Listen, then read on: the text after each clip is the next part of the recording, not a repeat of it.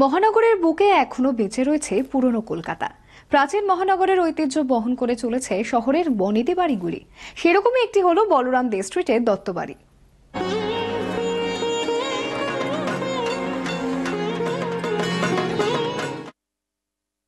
এই মুহূর্তে আমি রয়েছি বলরাম দে স্ট্রিটের দত্ত বাড়ির একেবারে ঠাকুর দালানে। বাড়ির সদস্যরাও রয়েছেন আমাদের সঙ্গে।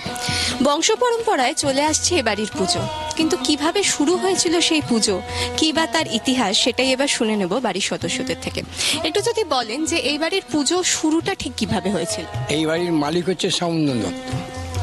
উনি অ্যাকচুয়ালি হচ্ছে হাটকর দত্ত বাড়ির ছেলে।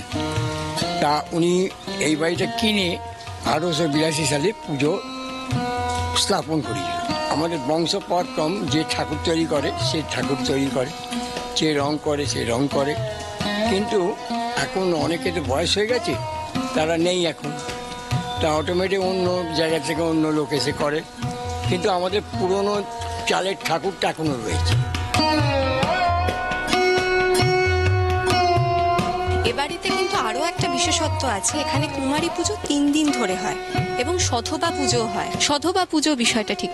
সদবা পুজো মাকে আমরা যেন মানে সদবা রূপে আমরা পুজো করছি আবার মাকে আমরা কুমারী রূপেও পুজো করি। দুর্গাপুজোর বেশ কিছুদিন আগে থেকেই কিন্তু এই বাড়িতে প্রথাগত পুজোটা শুরুই হয়ে যায় চণ্ডী পাঠ দিয়ে।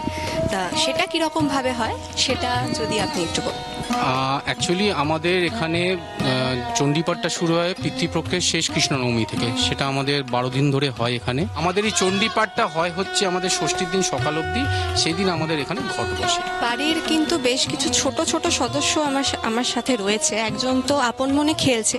আরেকজন বেশ শান্ত হয়ে আমার পাশে বসে আছে, বা তার থেকে শুনে নেব সে পুজোয় কতটা মজা করে।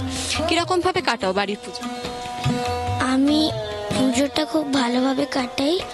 কবিতা বলি, গানও করি। আমার এখন গিটার এসছে। আমি গিটার শিখি এখন, আমি গিটারও বাজাই। বেশ হই হই করে যে বলরাম স্ট্রিটের দত্তবাড়ির সদস্যরা একসঙ্গে তাদের পুজোর দিনগুলো কাটান, সেটা তো এই সকলকে দেখে বোঝাই যাচ্ছে।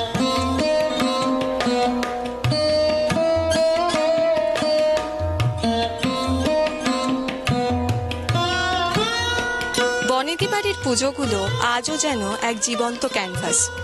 বদলে গেছে অনেক কিছুই, কিন্তু বদলায়নি আবেগ ভালোবাসা এবং দেখার চোখ। ক্যামেরায় সমীর বিশ্বাসের সঙ্গে রম্মানি জি চব্বিশ ঘণ্টা।